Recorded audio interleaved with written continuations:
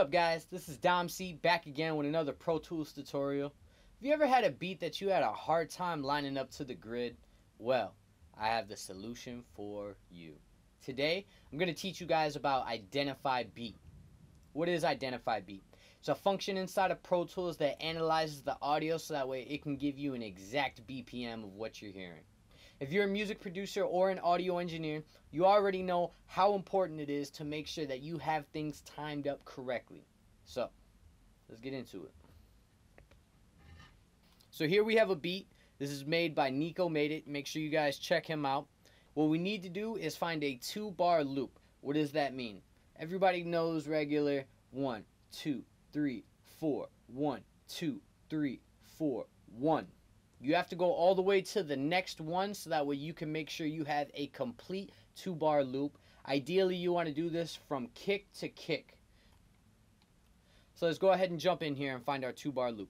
We're going to press tab to transient so that way we can get to the zero cross point and we're going to split the track, okay? Now we're going to listen and count out two bars. Boom. So this guy right here, again, tab to transient. From here, you're going to want to click your two bar selection and play it back just to make sure that you do have it exactly on point.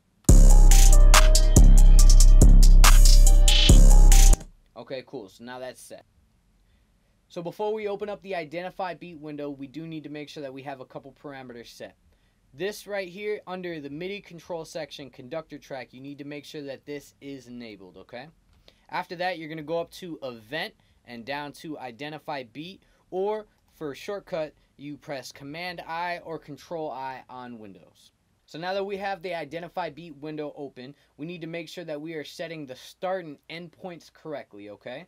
To let Pro Tools know that we are using a two-bar loop. For the start location, we're going to press 1 because that is the beginning of our loop. And then we're going to come down here to the end location and we're going to do 3 because remember, it needs to be a complete loop. After that, we're going to press enter.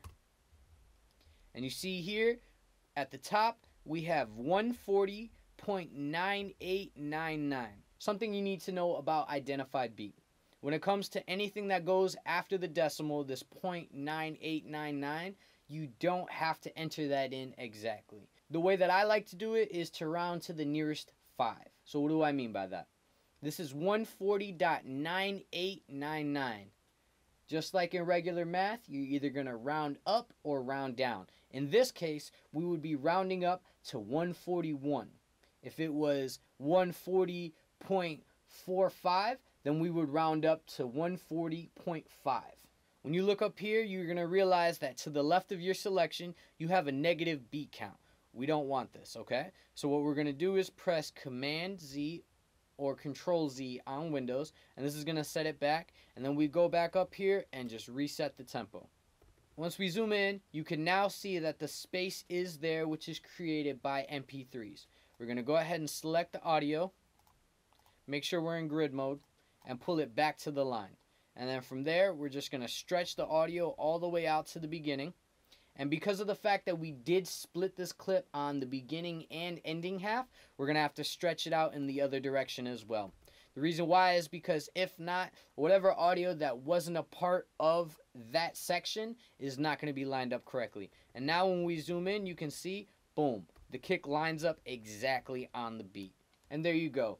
No beat is ever going to give you an issue when it comes to lining it up on grid because you now know how to identify beat. This is going to take a little practice for you to get it down packed, but more you do it, the better you will become at it. Make sure you guys drop a comment down below. Let us know how you're doing. Any questions on how to use Identify Beat, please do not hesitate to reach out. Again, my name is DomCee. Like and subscribe, all that. I'll catch you guys in the next one.